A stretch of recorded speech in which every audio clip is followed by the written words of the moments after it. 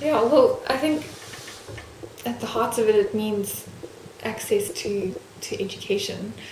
And um, the reason that I've just found it really interesting since I've been involved is that I think it has the hugest potential in countries such as South Africa, where there are such barriers to, to education and to just access to, to resources. And um, like, I mean, when I've been to the States, I've, most of the sort of um, emphasis has been on, on textbook savings at college level.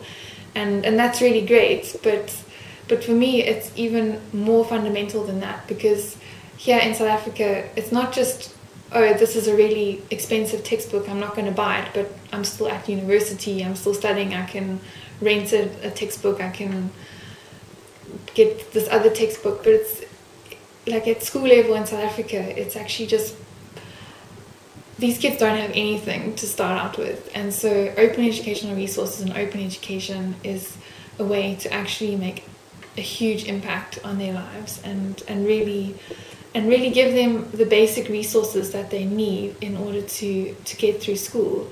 And just what's been so exciting for me is that um, seeing the response from kids and just getting the like their messages on Facebook and we have this one um, email account which we get lots of sort of emails from learners and just seeing some of their their feedback and um, yeah, I just think that that's in developing countries, that's where open education can make the, the hugest impact and has the hugest potential. And I really think it's where people should be, be focusing their, their attention. Yeah. In, in South Africa, we're the only group actually working in, in K 12. And I think it provides a huge opportunity that we actually need to take advantage of because not only do we want learners to see that this is a, a, free textbook, but actually start to educate people about what open actually means to them, and um, and so that so that learners actually start to come to expect that education is not just um, a privilege, but it's actually a basic right, and that they should actually have access to these resources. And I think we should start as early as as um, in school level, in primary school even. Um, and you can do this subtly by including little bits of information in the content about what is what is this book, why are you getting it for free? It's under an open license. Watch this video on open education.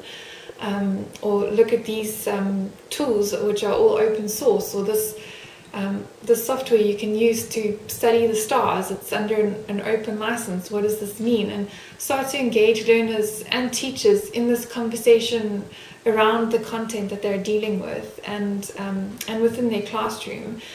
So that it starts to become something which is familiar with, to them, so that when these learners get to university, say, um, they they already know about open open textbooks and um, what an open license means. So you're starting to get this bottom up pressure on on um, professors to start using an open textbook for their course, so they're not just using the same old um, really expensive traditional publishing house textbook that they've always been using. And I think, um, yeah, especially K 12, it just provides such an opportunity to start actually educating people about, about open licenses. And um, that's something that we've started to do to in our books.